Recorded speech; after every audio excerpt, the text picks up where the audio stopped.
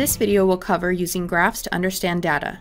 We will cover three types of graphs, bar charts, box plots, and histograms. It's important to know which graph to use. If the variable is categorical, look at it using a bar chart. If it is continuous, you should examine it using either a box and whisker plot or a histogram. A bar chart translates the data from frequency tables into a pictorial representation. It depicts categorical variables and shows frequency or proportion in each category. This bar chart looks at the frequency distribution of patients with pulmonary embolism, which occurs when one or more arteries in the lungs gets blocked by a blood clot. Notice that this is a binary variable with only two possible responses, yes and no. Yes is coded as 1 and no is coded as 0. The frequency distribution of a binary variable shows the number of patients in each group. It's much easier to extract information from a bar chart than from a table. This chart depicts shock index, which is the ratio of heart rate to blood pressure and should lie between 0.5 and 0.8. The higher it is, the greater the risk. Shock index is an ordinal categorical variable. The vertical bars here represent the number of patients in each category. The shape of a distribution describes how the data are distributed. Measures of shape include symmetric and skewed. The first thing we're looking for in any continuous variable is the shape of distribution. What are the boundaries of the data points? And how are they clustered?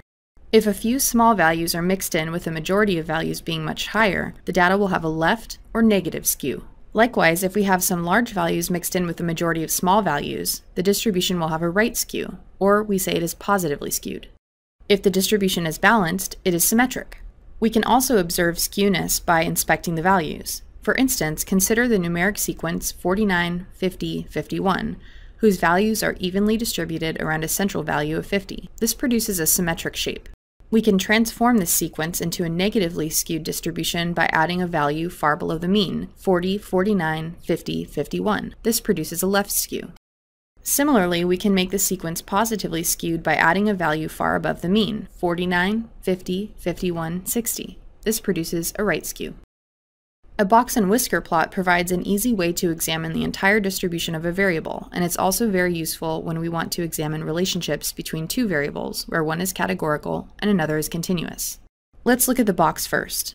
The bottom of the box represents the 25th percentile, while the top of the box represents the 75th percentile. The line in the middle represents the median. The bigger the box, the greater the spread of the data.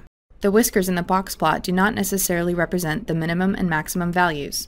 They show the minimum and maximum only if these values are less than one and a half times the interquartile range. If the values are bigger than that, the whiskers represent 1.5 times the interquartile range, or IQR.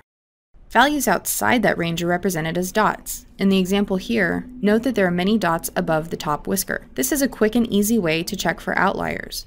We can look at the same shock index data with a histogram. The dots in the box plot showed us that there were several large values greater than 1.5 times the interquartile range. The same is represented in this histogram, with the right skew.